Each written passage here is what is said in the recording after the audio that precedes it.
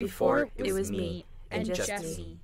And then I cried to them. And after, And after, And after, it was them. them. they were mine and I was theirs, and it was great because they knew, because they loved me, because I let them.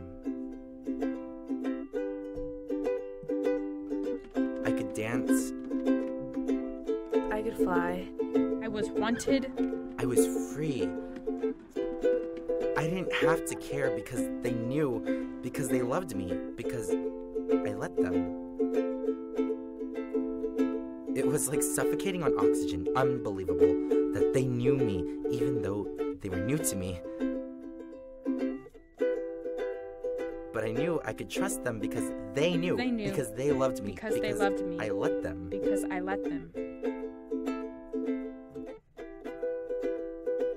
Let it be known that my heart did somersaults. Let it be known that this was the first time I felt love. and let it be known that I learned to love them too.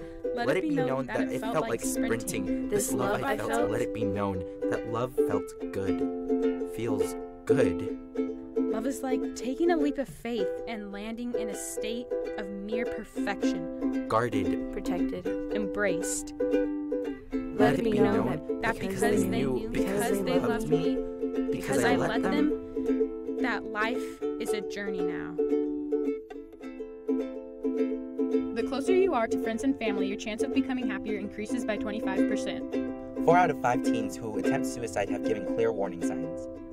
Call the National Suicide Prevention Lifeline. Or go on facebook.com slash hope.sptf. Tell an adult. Tell a friend. Let your thoughts be heard.